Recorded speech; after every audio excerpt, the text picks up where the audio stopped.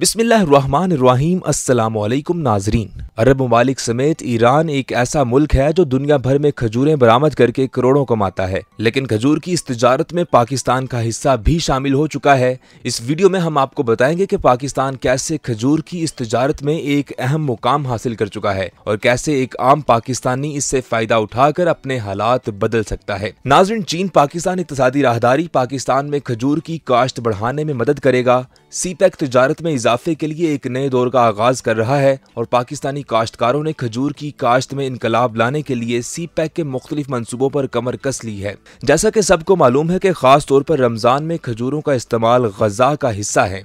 खजूरें इफ्तार और सहरी का लाजमी जुज्व हैं।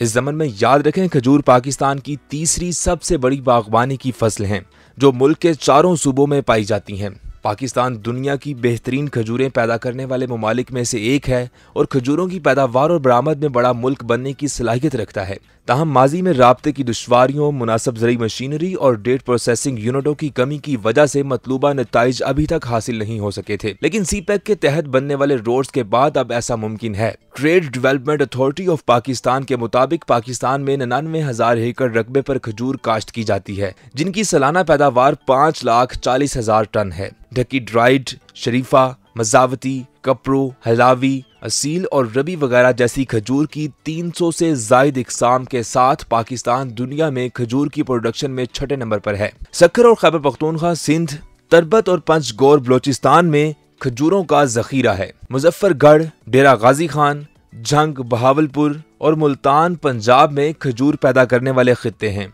सीपा की मोटरवेज इन तमाम खजूर वाले इलाकों से गुजर रही है और अब इनका खजूर का कारोबार करना बहुत आसान है। बात को समझना आसान है, जैसा कि ढकी नाम से पता चलता है। मुख्तलिफ़ जायका वाली ये खजूरें खैबर पख्तूनख्वा के जिला डी आई खान के इलाके ढकी में काश्त की जाती है। ढकी ने कौमी और बैन अवी मंडियों में अपने आप को मनवाया है। तहम मार्केट तक रसाई इन मसाइल में से एक है जो किसानों को बड़े पैमाने पर बढ़ती हुई खजूर की काश्त की हौसला शकनी करती थी। सीपै के तहत Hakla D I Khan motorway अपनी तकमील के करीब है। दो सौ बानवे किलोमीटर मोटरवे ढकी और इससे मुलहिका इलाकों के किसानों को मार्केट तक आसान रसाई फ्राहम करेगी। मोटरवे इन मसनुआत को मुल्क की मरकजी मंडियों तक ले जाएगी और किसानों को अब उनकी मसनुआत को कम कीमत पर फरोख्त करने का इस्तेसाल नहीं किया जाएगा।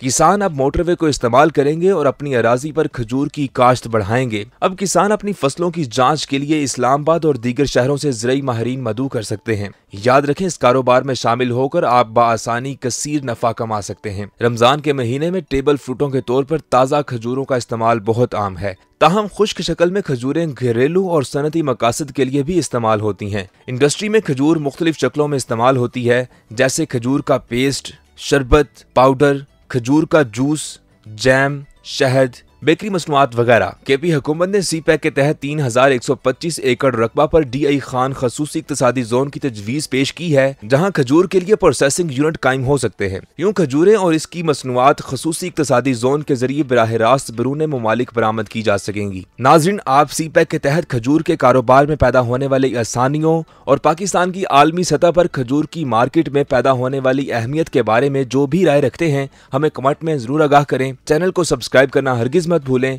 और बेल आइकन पर भी क्लिक करें ताकि आपको हमारी आने वाली हर अमेजिंग वीडियो बर वक्त मिल सके।